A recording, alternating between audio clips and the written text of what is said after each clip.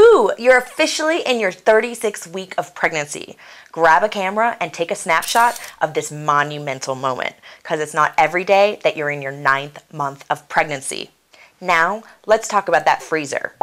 This would be the perfect time to stock it up with healthy meals that just need to be heated up once baby is here. Speaking of, did you know that after this week, baby will be considered full term? Of course, your original due date is still the best predictor for your delivery, but at this point, baby is basically just gaining weight. By week 36, baby is measuring close to 19 inches long and weighs approximately six and a half pounds. Of course, this is just the average, and your baby may be a little bigger or smaller at this point. You, however, may be getting ready for your weekly exam, which probably includes a screening for Group B strep.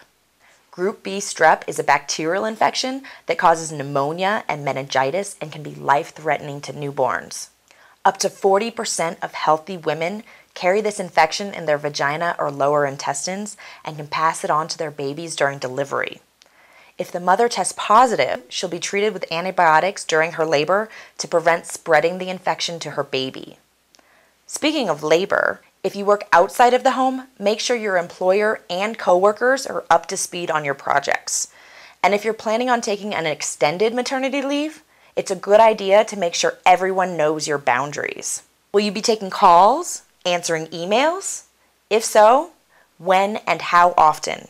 You can always set strict expectations to begin with and then loosen them as you settle into a routine with baby. If you have other kiddos, make sure they know the plan in case you go into labor when they're not home. For example, who will pick them up and who will take care of them while you're in the hospital?